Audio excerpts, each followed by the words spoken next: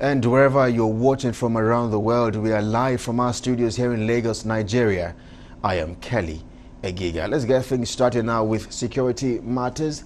As despite a 24-hour curfew imposed by the Kaduna state government, many Nigerians have expressed outrage as gunmen launched fresh attacks in southern Kaduna communities.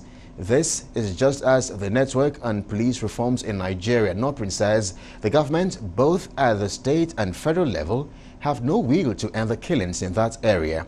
Now, speaking in an exclusive chat with Galaxy's Justin Akadonye, the national coordinator of NOPRIN, Emmanuel Ikules, who cites some achievement of the military in other countries, is worried that despite their competence, nothing is seemingly being done to end the killings in Nigeria.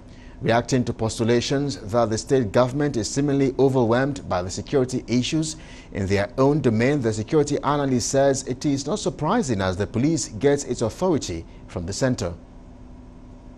Know what to do, but they don't want to. Why? Because there are many instances that have shown that Nigeria is capable.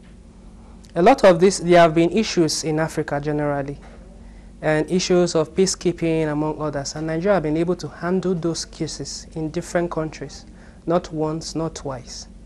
And their record actually speaks for them. That means they have competence to do it. When it comes to Nigeria, with the issue of Boko Haram, it's not that we cannot handle. Recently, about 356 soldiers resigned. That's a, a, red, a red flag, indicating there's something in the system and there have been also voice recording of different soldiers speaking